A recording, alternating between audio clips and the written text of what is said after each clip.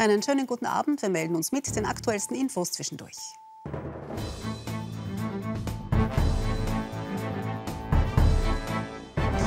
Kiew meldet einen weiteren Schlag gegen das russische Militär. Mit einem Artillerieangriff im Gebiet Cherson soll die Ukraine den russischen Streitkräften empfindliche Verluste zugefügt haben. Offizielle Opferzahlen hat Moskau bislang noch nicht bestätigt. Der Luftangriff auf die russische Truppenunterkunft im Donbass, eine Blamage für das russische Militär, die man schnell vergessen haben will. Ganz verschweigen lässt sich der heftige Angriff aber nicht mehr. Deshalb räumt Moskau in einem ungewöhnlichen Schritt militärische Verluste ein. Aber die Angaben über die Opferzahl gehen weit auseinander. Während die Ukraine von mindestens 400 getöteten Soldaten spricht, bestätigt der russische Militärsprecher 63 getötete Rekruten. Aber selbst Kreml-treue Beobachter glauben an eine höhere Opferzahl und kritisieren schwere Versäumnisse. Denn die Rekruten seien in einem ungeschützten Gebäude neben einem Munitionsdepot untergebracht gewesen, heißt es. Trotz Zensur wird deshalb Kritik an der Militärführung in Russland zumindest etwas lauter. Eine ebenfalls ungewöhnliche Entwicklung für Russland.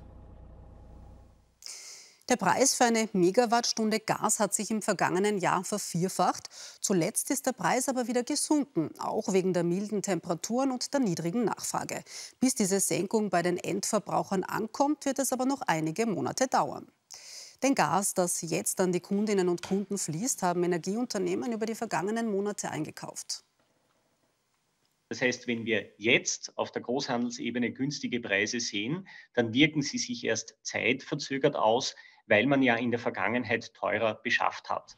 So der Experte. Für Neukunden sieht Urbancic aber schon bald günstigere Gaspreise. Große Aufregung hat der Besuch des neuen israelischen Sicherheitsministers Itamar Ben-Gvir auf dem Tempelberg in Jerusalem ausgelöst. Trotz vieler Warnungen ist der ultranationalistische Minister über den Tempelberg spaziert, der den Muslimen und Juden gleichermaßen heilig ist. Das hat viel Kritik bei Palästinensern und Vertretern muslimischer Staaten ausgelöst.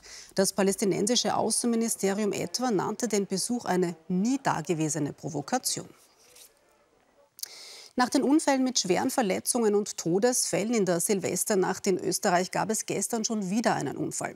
In Wien haben sich zwei zwölfjährige Burschen bei einem Böllerunfall schwer an der Hand verletzt. Branchenvertreter fordern jetzt ein deutlich strengeres Vorgehen gegen illegale Böller. Nach dem tödlichen Unfall mit einer illegalen Kugelbombe in Niederösterreich hat die Staatsanwaltschaft Wiener Neustadt Ermittlungen gegen Unbekannte aufgenommen. Der Verdacht grob fahrlässige Tötung sowie fahrlässige Körperverletzung. Noch immer schweben zwei Jugendliche in Lebensgefahr. Der Branchenvertreter fordert die Politik auf zu handeln. Die Nachbarländer müssten die Gesetze verschärfen, der illegale Handel stärker kontrolliert werden. Präsenz ist schon da vor Silvester, aber zu kurzfristig. Da müsste man schon im Oktober mit Kontrollen anfangen und im November und vielleicht auch mit der gegenseitigen Regierung sprechen, dass da einfach was geschehen muss da drüben. Ich meine, wir haben einen Toten heuer wieder, tragischerweise. Das kann ja nicht so hingenommen werden. Außerdem müsse man stärker gegen Online-Händler vorgehen, die illegale Böller verkaufen und auch hier die Strafen erhöhen. Nach den Ausschreitungen mit Böllern in Wien Favoriten fordern Landes ÖVP und FPÖ strengere Gesetze. Und jetzt zum Sport. In Innsbruck haben sich heute alle sieben Österreicher für den dritten Bewerb der Vier-Schanzentournee qualifiziert. Stefan Kraft und Jan Hörl zeigen dabei Punkte gleich als Sechste auf. Bei wechselnden Windverhältnissen beweist Stefan Kraft sowohl im Training als auch beim Qualisprung, dass er die Schanze am Bergisel im Griff hat. Auch Jan Hörl dokumentiert seine aufsteigende Form mit einem soliden Sprung. Am weitesten fliegt heute der Pole David Kubacki, der morgen Jagd auf den tourneeführenden Norweger Halvor Egner Granarut macht.